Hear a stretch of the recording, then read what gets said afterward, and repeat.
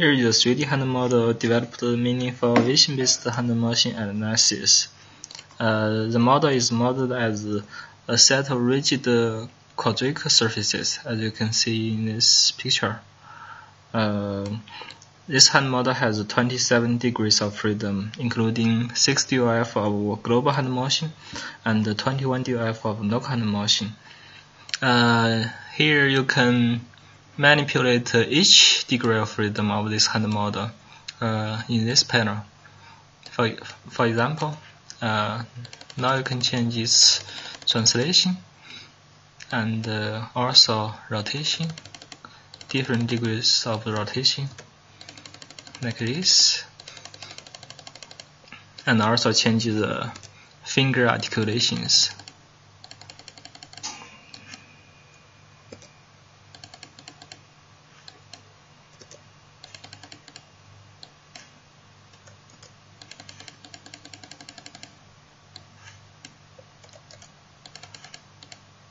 Like this.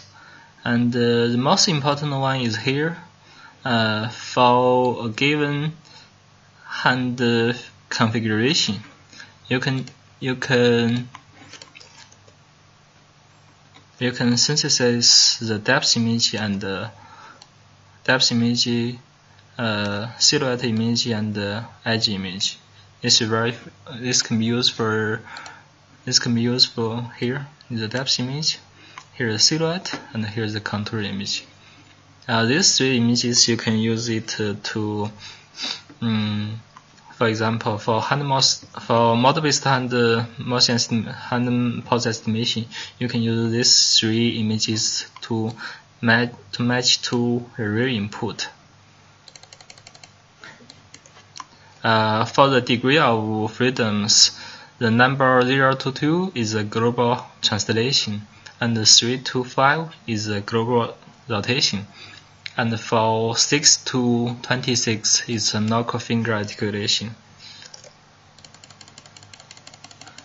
And you can see here for each different configuration you can generate uh, different uh, images.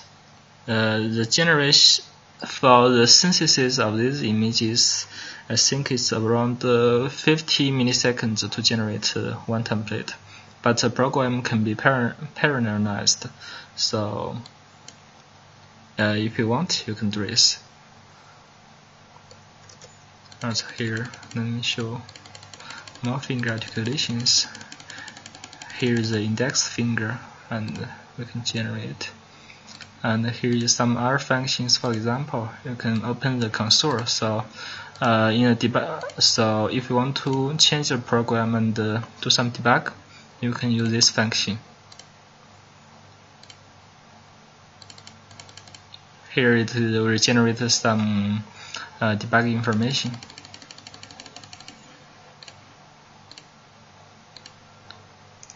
Uh, the program is developed using C++, OpenGL, and OpenCV. So, if you use this program, you need to make sure that these libraries are install, installed before you run the project. Uh, that's all. Thanks.